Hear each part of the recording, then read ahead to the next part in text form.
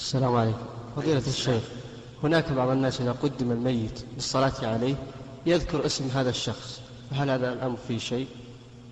يقول مات هذا فلان ابن فلان؟ نعم الصلاة على فلان ابن فلان.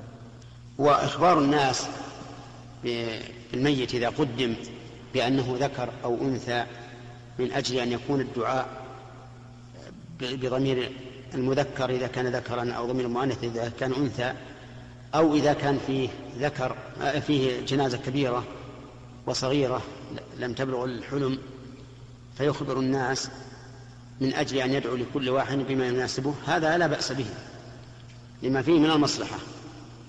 وأما الإخبار عنه باسمه فلا أتوقف في هذا. قد يكون في مصلحة وقد لا يكون في مصلحة. قد يكون مثلا من الحاضرين من بينه وبين هذا الميت المعين عداوة سابقة فينصرف عن الصلاة. يقول ما ما نصلي على هذا الرجل؟